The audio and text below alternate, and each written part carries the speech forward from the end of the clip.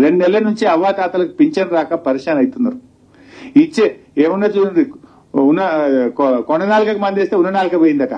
నాలుగు వేలు వస్తుందని పాపం అవ్వాతాతలు ఆనందపడ్డరు ఎదురు చూసిండ్రు. కానీ దురదృష్టం ఏంటంటే ఇప్పటికీ మే నెల జూన్ నెల రెండు వేల పెన్షన్ అవ్వాతాతలకు ఇవ్వలేదు. ఇచ్చే రెండు వేలు కూడా చక్కగా ఇస్తలేరు వీళ్ళు. చదువుతున్న అడుగుతున్న రగన్న ఐదు ఐదు అమలు చేసింది అన్నారు కదా.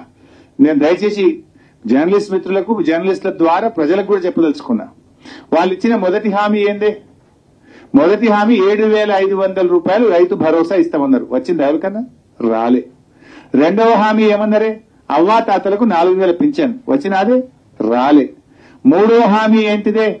మహిళలందరికీ రెండు వేల ఐదు వందల రూపాయలు ఇస్తామన్నారు. వచ్చినాదే? రాలే. నాలుగో హామీ ఏందే?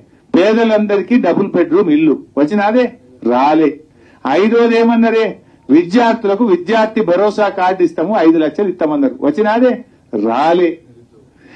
ఏమొచ్చినాయి ఐదు అమలు. ఐదు అమలే కాలే.